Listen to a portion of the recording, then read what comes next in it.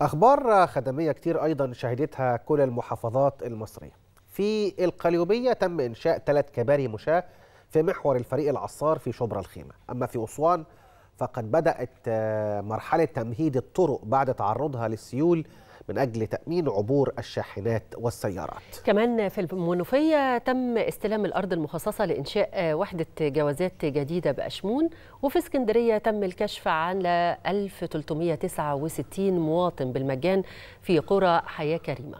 تفاصيل أكتر عن المحافظات هنتعرف عليها.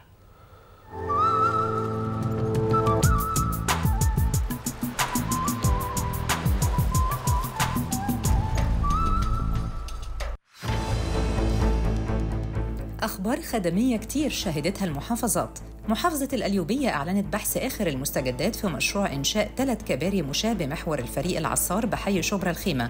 وبيأتي هذا المشروع الحيوي في إطار حرص المحافظة على توفير بيئة آمنة ومريحة للمواطنين خاصة طلاب المدارس والعاملين بالمصالح الحكومية والمستشفيات المتواجدة بالمنطقة. أيضا شهدت محافظة أسوان تدشين غرفة عمليات للتعامل مع تداعيات الأمطار والسيول اللي شهدها طريق أسوان أبو سمبل السياحي بالإضافة لطريق قسطل الشرقي على الحدود المصرية السودانية. وتم التدخل من خلال الدفع بالمعدات واللوادر التابعة للوحدات المحلية بمدينتي أسوان وأبو سمبل. وتم تمهيد الطرق وتعلية الجسور من خلال وضع التربة الزلطية مما ساهم في تأمين عبور السيارات والمركبات. في محافظة المنوفية تم تسليم الأرض المخصصة لإنشاء وحدة جوازات جديدة على مساحة 560 متر بشارع الجامعة بمدينة أشمون بهدف تيسير الخدمات المقدمة للمواطنين وتلبية مطالبهم واحتياجاتهم بشتى القطاعات والخدمات المتنوعة وفقاً لأهداف ومحاور الجمهورية الجديدة لبناء الإنسان المصري. كمان نظمت مديرية الشؤون الصحية بالإسكندرية قافلة طبية بوحدة الجلاء بمنطقة العمرية الطبية بالإسكندرية واللي بتبعد 27 كيلو متر عن أقرب مستشفى وهي مستشفى العمرية العام. وضمت القافلة 8 تخصصات البطنة، الأطفال، النساء، الجلدية، الجراحة، الرمد، تنظيم الأسرة والأسنان.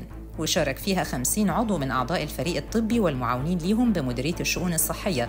وتم خلال القافلة توقيع الكشف الطبي على 1369 مريض من أهالي المنطقة وصرف العلاج مجاناً بالكامل ليهم. شهدت محافظة الدقهلية استلام دفعة جديدة من لحوم صكوك إطعام الطعام بإجمالي 2 طن لتوزيعها على الأسر الأولى بالرعاية من مستحقي تكافل وكرامة مقدمة من وزارة الأوقاف وهيتم توزيعها تحت إشراف مديرية التضامن الاجتماعي. اعتمدت محافظة الجيزة مقترح مديرية التربية والتعليم بالمحافظة بتخفيض درجة القبول بمدارس الثانوي العام والخاص على مستوى المحافظة للعام الدراسي 2024-2025 وتم اعتماده بعد الاطلاع على مؤشرات القبول بمرحلة الثانوي العام والإحصائيات الخاصة به والكثافات الطلابية بحد أدنى مجموع 220 درجة والثانوي العام خاص عربي والمنازل بحد أدنى 140 درجة.